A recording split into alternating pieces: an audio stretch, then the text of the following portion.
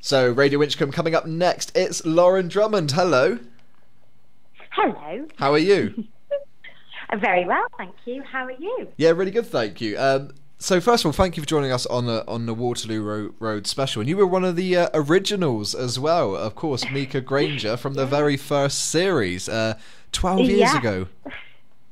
Yeah, I know, I know. Um, it, yeah, it has been a while. It's the only thing in my life that makes me feel old when I refer to it. It's, there's not much, well, there is more and more as you get older, but um, there isn't much in my life where I've said, oh gosh, that was 10 years ago, that was 12 years ago, but that one, whenever I talk about it, I always think, ooh, oh gosh, like a stamp. So, but yeah, no, it was very happy memories. I was going to say, first, how did it all come about for you? How did you, you get the part? Did you have to audition for it?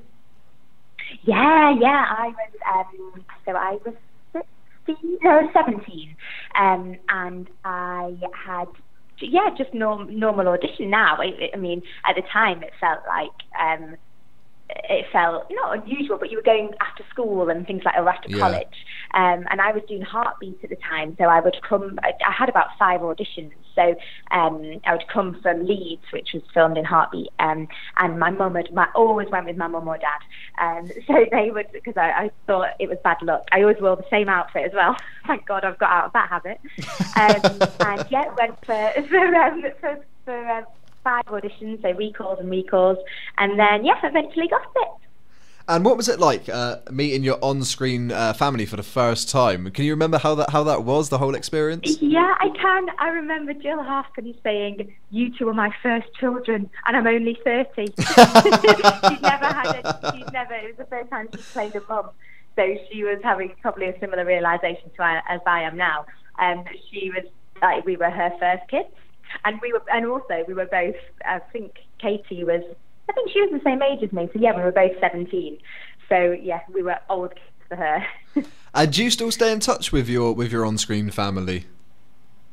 Not so much with Katie or Jill, but I see Jason quite a lot. I see Jason at audition. Jason Done, who played our dad or stepdad, and we I see him at auditions quite a bit. Um, but mo- I mostly stay in touch with Adam Thomas. Um, Yeah. we we grew up together. We went to um, to drama classes together. Um, and Denise Welch, of course, I, I'm yeah still in touch with Denise a lot. But I always forget that she's from Waterloo Road because I've, I've worked with her since. So, um, so yes, Denise and I are still very good friends. Um, but yeah, not so much Katie and Jill. But I see, I saw Jill um, in the street a few years ago, and she and I said, Jill, Jill, it's me. And then she was like, looked at me as if to say, Oh my gosh, you look like you used to be my daughter. but um, obviously, I've changed a lot. And I, when I first started, um, I was doing Heartbeat, so I, and I, my mum in Heartbeat was. Um, she was Spanish, so they dyed my hair jet black. So for the first series of Waterloo Road, I had jet black hair. So uh, naturally, I'm a blonde. So as the series went on, I got blonder and blonder. So I look very different as to how I was when I first started out. Now, the character Mika, she was just so nice. I mean, she always just looked at the positive things uh, in life, and until she got involved with bad boy Brett Aspinall. uh, and that caused fireworks, Yeah. didn't it? I mean, your, your sister had an affair with him. I mean, that caused you two to fall out. She ran away. Yeah. What a storyline to be involved in. I know it was brilliant, especially when you're in a series and everyone kind of takes their turn to have the lead storylines. Um, that was a brilliant one to to be a part of, um, and just like the drama of it. I mean, it's dramatic anyway, but that kind of drama for a teenager is even bigger. And we didn't have social media or anything then, Yeah. so um, so yeah, it was it was a brilliant one to be part of. And uh, Tom, who plays Brett, he we stay in touch as well, and he um, he was always great. Um, he was really good fun. So it was I was with a good good group of people. And I mean, the show uh, from the very first series, it just went off the scale. It was so popular. It it pulled in the viewers. Yeah. How did you cope with that popularity? Because I know you were, you were already on Heartbeat, but uh, Waterloo Road must have brought something completely uh, different to you. Yeah, and it was. Um, yeah, it, I don't know. It was. You didn't it because it was a bit of a slow burner because the first I think the first series was eight episodes and then the next was maybe twelve and Yeah. then the next was sixteen. So um, the first the first year, I remember my brother. He was at university in America at the time, and when he so he missed all of it. Or I was in it for, for three years. He missed all of it. Um, and but when the first series had been out, um, people would start to ask you for pictures or for for autographs. And after the second year, he came home, and we were in the Trafford Centre, which is a shopping centre near us, and um, people kept coming up to me asking me for pictures, and he was like what? Why did they want a picture of you? is, this, is this that thing that you've been in? Because he didn't know, he didn't know what it was. Um, but yeah, yeah, it was. It was always nice, and I had a nice character, so people are nice to you when you've got a nice character. So that was it. So it was nice that people come and talk to you. And for you, do you have a, a standout memory of the show? Something that you always kind of remember or you have fond memories uh, about? Uh, I always remember the green rooms because we had um, we had kids' green rooms and adults' green rooms, but all the kids were basically adults. So there was always this kind of like, and Tom particularly, he was 24, I think, um, and he was away from home. They put him. We we all stayed at home with our parents, um, most of the kids or teenagers.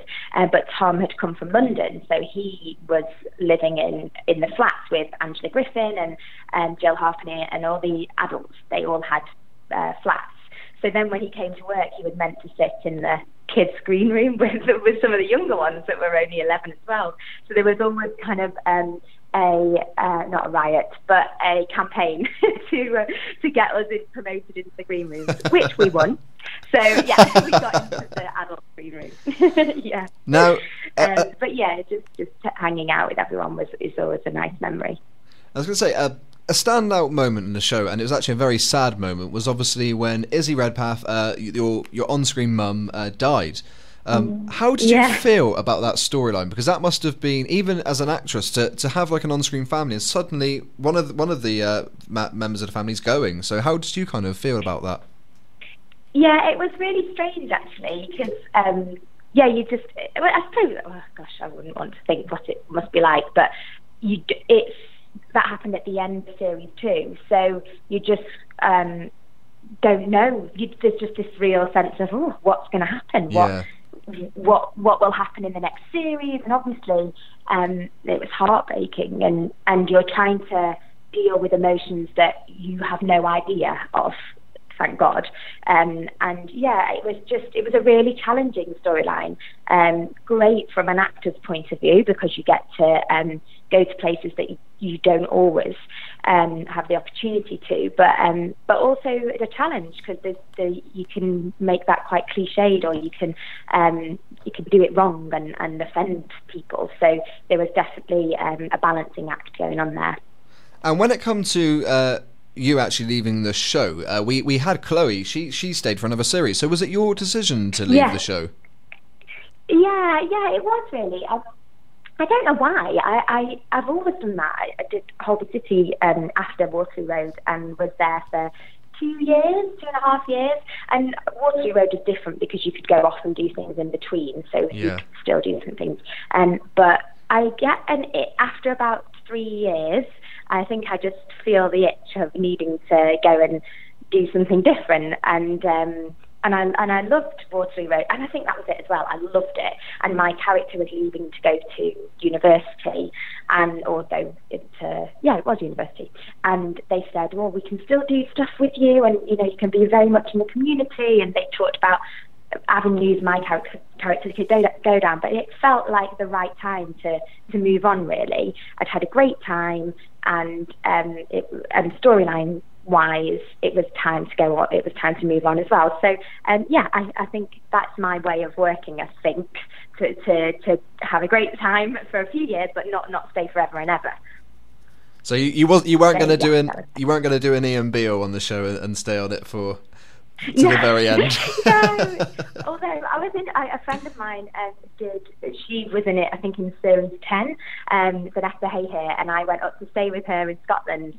And um, when they all moved up there, and I thought, oh I could come back up here. It was great. I loved Glasgow anyway, but I thought, oh yeah, I could do some time in Glasgow. That sounds like a good idea. but um, but yeah, I, I, yeah, I wasn't going to stay stay for the whole twelve. I don't know how many series it did in the end. Was it about twelve? Ten or twelve? I think, 12, it, I think it was twelve. Well, yeah. yeah, I don't think I was set to be to be there for twelve series.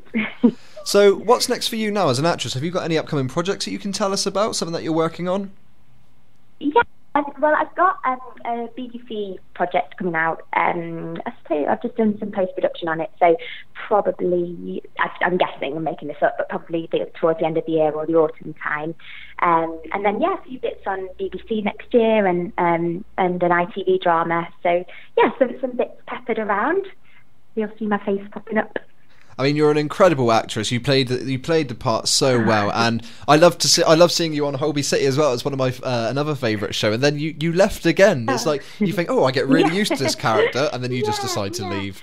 yeah, but it's, it's good. I think to to um as well. You know, when you're younger, yeah. like on Holby, I was working with lots of people that had done loads of theatre, and they a lot of them were a bit older than me. You know, forties and fifties, and and they'd had such varied careers. And as an actor, you just hungry to play different characters and work with different people and um, and work on different scripts. So yeah, it, it, was. It's always been important for me to try and keep things varied, but at the same time, I love working and I hate not working. So um, I, I, don't want to be too precious about anything. Yeah. But um, if I, if the dream is to keep it varied and um, and just work as much as I can, really.